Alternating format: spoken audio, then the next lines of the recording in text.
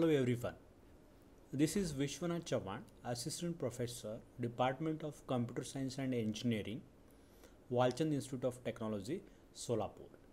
Now I am here to explain the collision-free scheduling. At the end of this session, the students will be able to illustrate the diagram of given function which is called state diagram. So here uh, we are going to focus on two main terms. One is collision vector and another is state diagram. So we'll focus on these two terms. So this is a state diagram for a given function x. So uh, there are different uh, states are there.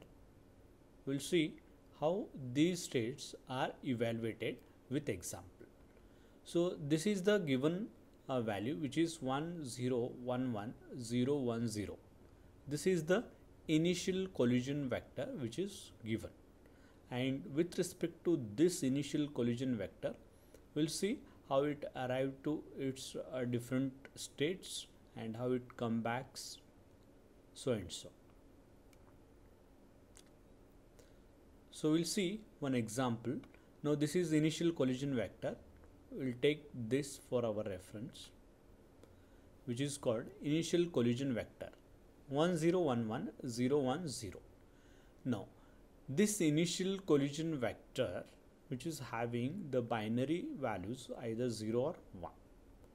So we need to uh, right shift this initial collision vector by one bit and analyze further to find next state. So after right shifting this initial collision vector as shown in this diagram, so this rightmost 0 will be appear here and all these bits will be shifted one bit position and so in place of leftmost position uh, which is kept blank where 0 will be inserted 0 will be inserted and hence our uh, next value will be 0 1 0 1 1 0 1 0 here it is shown. And this 0 is represented here.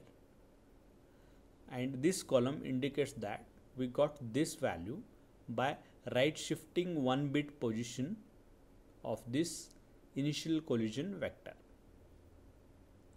And if we observe this column either we may get 0 or 1. So if we receive 0 then which is called permissible which is called permissible.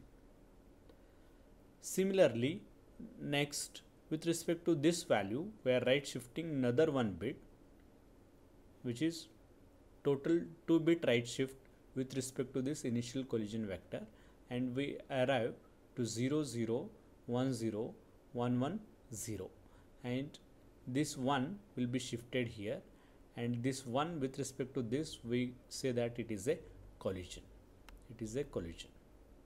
Similarly after 3 bit right shift we receive 0 which is permissible. Next 4 bit right shift of this initial collision vector we will receive 1 here which is called collision.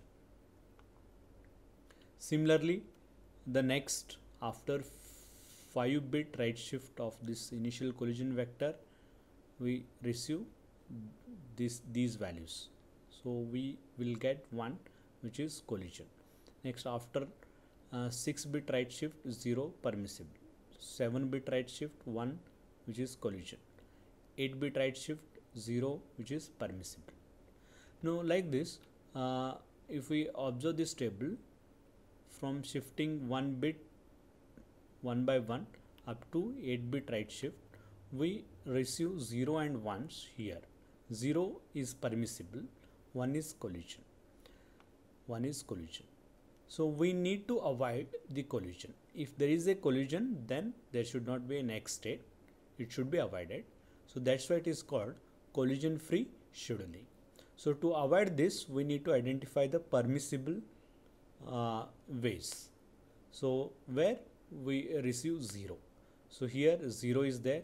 One more after right shifting initial collision vector three times we'll get another 0 and after this uh, right shifting 6 bit position will receive here. Then after 8 bit we'll receive 0 here.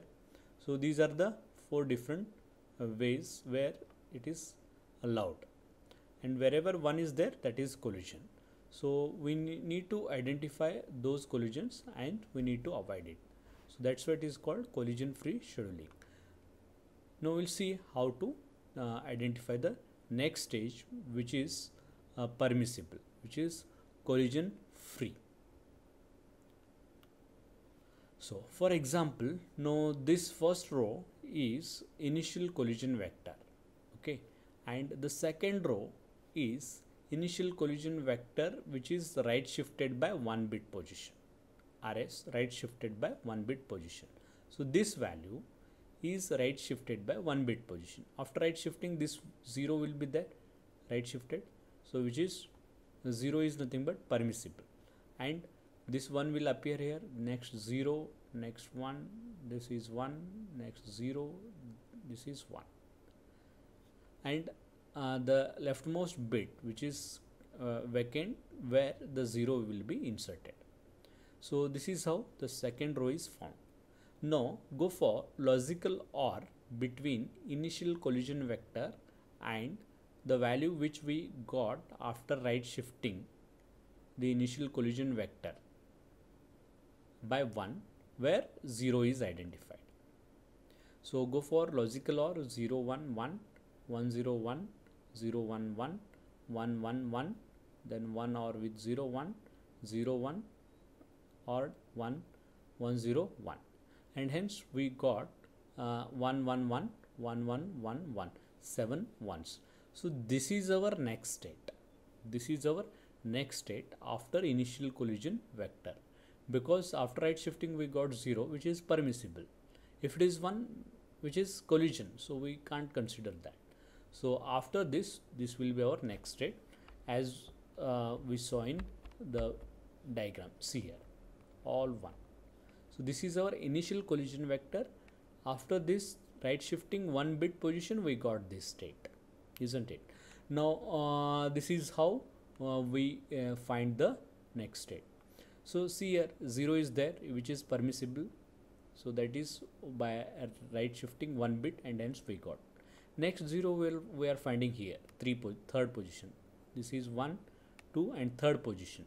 So if we go for uh, third position 3 times right shifting this initial collision vector and whatever value you are getting or with this initial collision vector then we'll get next state as 101 1011 so that's why it is represented as 3 so this 3 indicates that after right shifting uh, the initial collision vector 3 bit will get 0 and that value is ordered with the initial collision vector and this is the next state and hence it is marked as 3 marked as 3 so this 3 is there then after that 3 4 5 in sixth position we are getting 0 so uh, go for uh, shifting this uh, 6 times whatever value we are getting take that value or with initial collision vector and you will get the next state which is 1011 011 and hence it is represented as 6 because it is shifted 6 times and it will come to this state. So next uh, after 6 uh, 7th is 1 neglected because there is a collision. Now after 8th you will receive all uh, zeros all zeros and if you uh, or with all zero with this initial collision vector you will get the same value and hence it is shown here as 8 plus. So this plus indicates that it will come back to the same state after 8th right shift onwards because you will get all 0 so that's why you will come back to same position. So similarly here uh, if you consider this uh, initial uh, state this as initial state then after right shifting three time you will come back to here because 0 is there after 6th you will come back to here itself because in 6th position there is a 0 and in this case if you right shift 8 bit position you will get 0 and hence it will come back to this state this is how the state diagram can be drawn.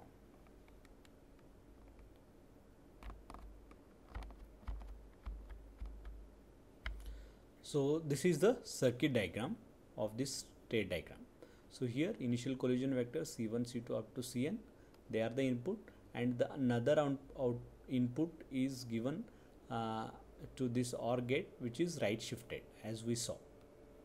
Okay, so right shifted value with initial collision vector they are OR and final result is stored here.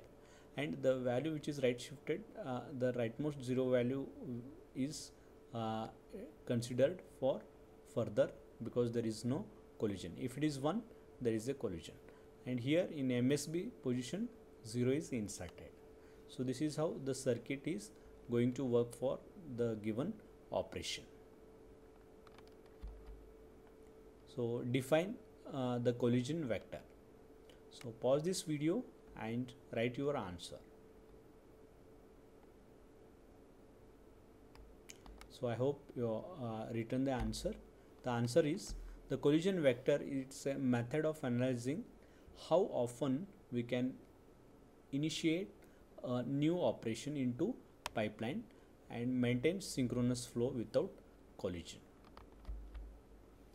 So this is uh, the state transition diagram for function y, the function y. This is the initial collision vector. Uh, the same way as we saw uh, go for same uh, kind of uh, operations right shifted to perform logical or and you will get this as a state diagram for function y. These are the references. Thank you